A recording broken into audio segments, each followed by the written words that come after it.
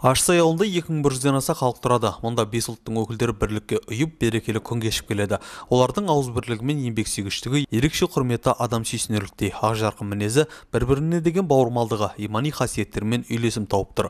Орталық мешіттің наиб имамы Дастан Құрбанқұлов, әжелер алқасының төрайымы Салтанат Атабекқызы, ардагерлер, ақсақалдар алқалары және жастар кеңесінің мүшелері бұл сөзіміздің куәсі болды. Ел арасындағы ынтымақ бірлікті насихаттап жүрген бастамашы топ мүшелері ауылға сапар барысында осыған көз жеткізді. Орыс өкілдері. Жалпы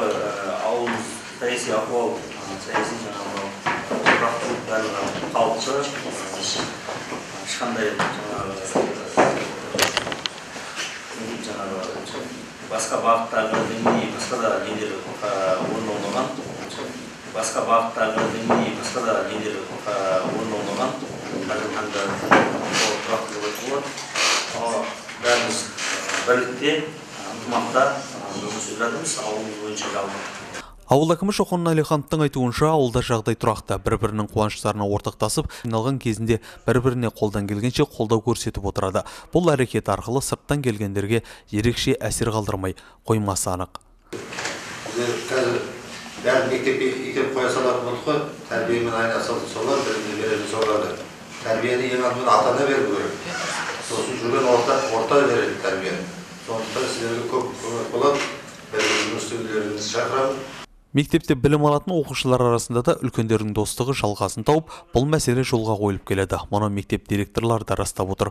Бүгінде елді ынтымаққа ұйытатын шаралар білім беру ұйымдары тарапынан көптеп ұйымдастырылды. Соның нәтижесі болса керек, ауылда соңғы жылдары жастар арасында кикілжің, құқық бұзушылық әрекеті мүлде орын алмаған. Бір оқушы ыстық тамақпен қамтылған жағдайы жаңағы көп балалар және де жартылай жетім оқушылар ыстық тамақпен қамтылған.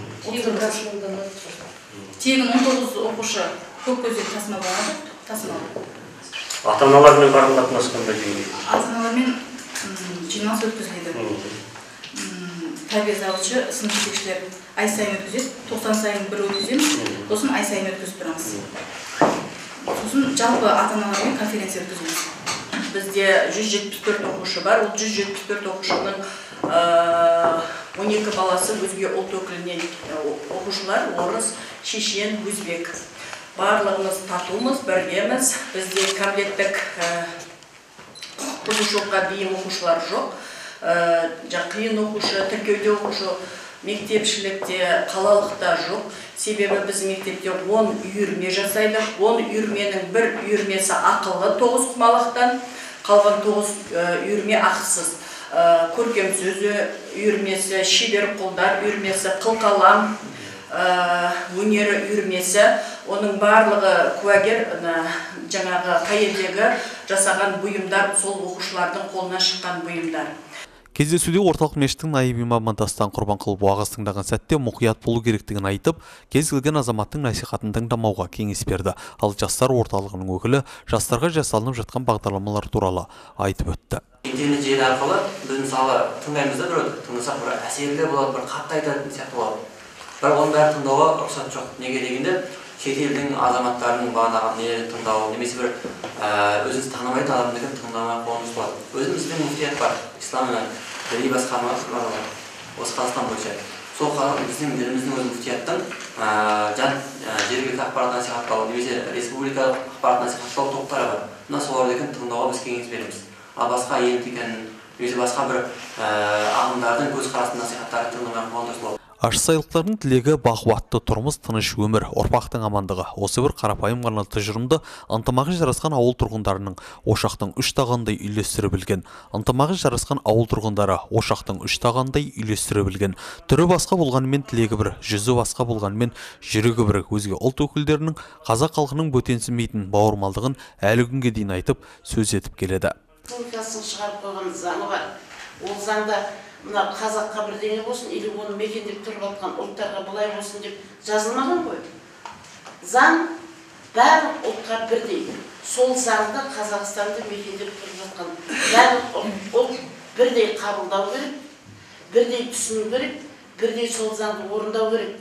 Менің елім менің жерім менің отаным деп барлық ұлт қазақстан солай сүю керек. Міне біз сол кезде ешкім тұмсығын тыға алмайтын көзін аларта алмайтын жаңағы америка сияқты не болмаса ресей сияқты сондай үлкен ұлы мемлекет боламыз Ауылда өткен кездесу барысында Кентау қалалық ішкі саясат бөлімінің басшысы Төрахан Сүлейменов іс-сапардың мақсатына тоқталып, жиылғандарға жіті түсіндірді. Елді жұдырықтай болып шомылып, ынтымақ бірлікте болуға шақырды. Басқосуда қозғалған мәселе ашсайлықтар тарапынан да қолдау тапты. Мұнан соң топ мүшелері ауылдағы құлшылық үйіне табан тіреп, онда мешіт имамдарына жамағатпен жүздескенде елді ынтымақ бірлікке шақыратын уағыз насихат айтуға шақырды. біздің ашса еліміз иншалла басқа ағымдардан тыныш ауызбіршілігіміз мығым иншалла осы халықтың қариясы бар ауызбіршілігі жастары бар иншалла. Ауызбіршілікпен жұмыс істеп жатқан жайымыз бар. Алла соны ұзағына қылсын. Еліміздің ауызбіршілігі арта берсін иншалла. Қазір енді жұмыс тоқтағандықтан ұлттар бар бізде бірақ. Аз қалды. Орыстар санаулы қалды. Шешендер бар иншалла. Татарлар бар.